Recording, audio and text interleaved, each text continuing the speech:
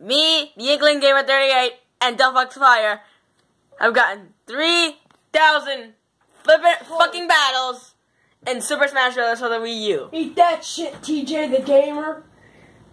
This is, this is an honor. This is an honor. This is a fucking honor to be here for 3,000 battles. And we have om- we have only been playing since the game fucking released. Which was back in December of 2014, I think. It's We got been there for three- and long and long, but yeah, we've finally done over three thousand battles. Move, guys! Battles. You see this today, folks. Greninja Brian 878, the Inkling Gamer 38, and Delphox Fire have done, th- have fought in 3,000 battles And I, and I have won probably most of them. And Super Smash Brothers for the Wii U. And we're done. Yep. Thank you.